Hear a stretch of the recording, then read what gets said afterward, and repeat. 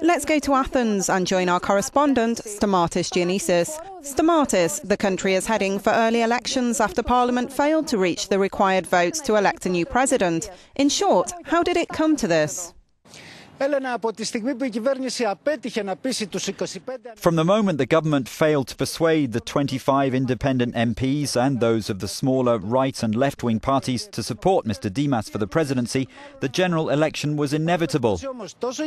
In any case, both the government and the opposition were prepared for such an outcome, as the incumbent president's term in office was due to end in two months' time.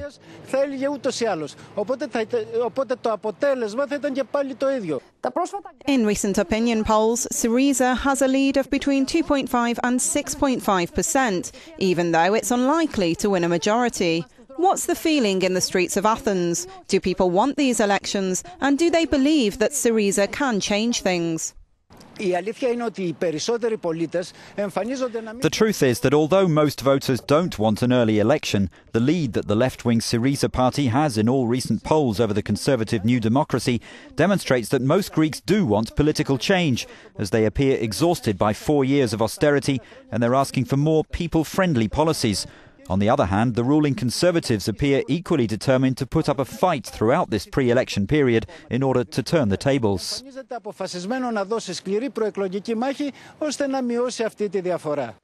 The election further complicates relations with lenders, the EU and the IMF, and brings back the scenario of a Grexit, a Greek exit from the euro.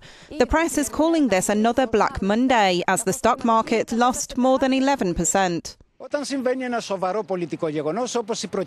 When a serious political event like the call of an early election takes place, the stock markets always tend to be touchy.